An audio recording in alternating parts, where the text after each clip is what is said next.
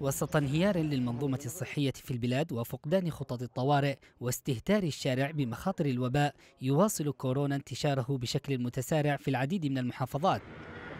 تسارع يفاقم حالة الخطر الذي يتهدد حياة الآلاف الذين يعيشون أيضا تحت وطأة أوبئة أخرى كحمى الضنك والكوليرا والمكرفس وغيرها من الأمراض.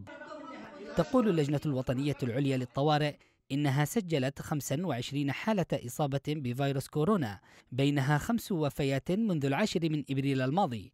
وفق الأرقام المعلنة فإن الفيروس تفشى حتى الآن في خمس محافظات هي عدن وحضرموت ولحج وتعز وصنعاء مع وجود احتمالات بانتقاله إلى محافظات أخرى.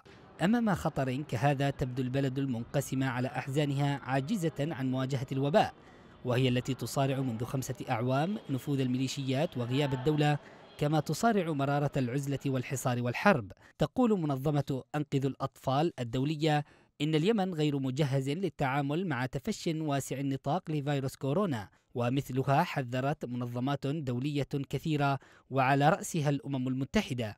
بيان المنظمة أشار إلى وجوب أن يتوقف العنف حتى يتمكن المواطنون والعاملون الصحيون ومنظمات الإغاثة من التركيز على إبطاء انتشار الفيروس والتخفيف من آثاره محذرة من خروج الأمر عن السيطرة.